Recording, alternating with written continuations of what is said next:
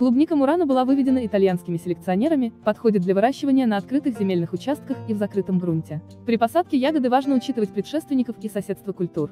Плохими компаньонами станут хрен, подсолнух, лютик, малина, а прекрасными предшественниками станут укроп, петрушка, редис, фасоль, бобовые и чеснок.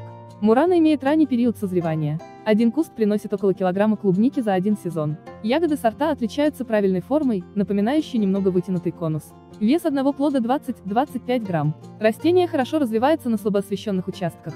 Обладает морозоустойчивостью и жаростойкостью, но при сильной засухе плоды гибнут. Плоды лучше употреблять в свежем виде, так как долго храниться они не могут.